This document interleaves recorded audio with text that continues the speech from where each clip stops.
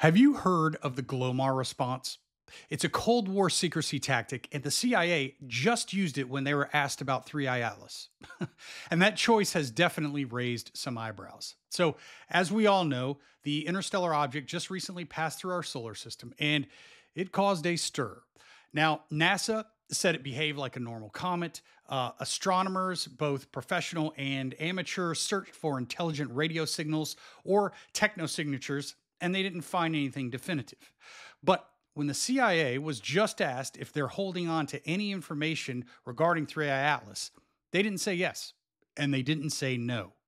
They issued what's known as a GLOMAR response. We can neither confirm nor deny the existence of records on 3i Atlas. Here's why that matters. The Glomar response was created during the Cold War, and it was to hide a highly classified operation that involved a secret attempt to recover a Soviet nuclear submarine from the ocean floor. It's typically reserved for cases where even acknowledging the existence of information is considered extremely sensitive.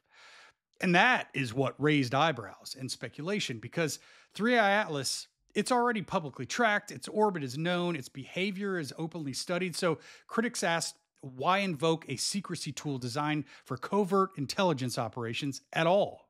Now, there's no definitive evidence that this object is alien technology, but the choice of silence and the CIA tool used to enforce it, that's what keeps people asking questions.